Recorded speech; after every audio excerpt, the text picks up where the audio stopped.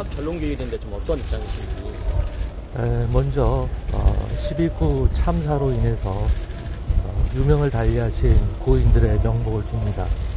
그리고 그 유가족분들과 부상을 입으신 분들 그리고 마음의 상처를 입은 국민 여러분들께 깊은 애도의 마음을 전합니다. 저에 대한 이번 탄핵 소추로 인해서 일부 국정의 혼선과 차질이 발생하고 국민 여러분께 심려를 끼쳐드리게 되어 매우 송구한 마음입니다.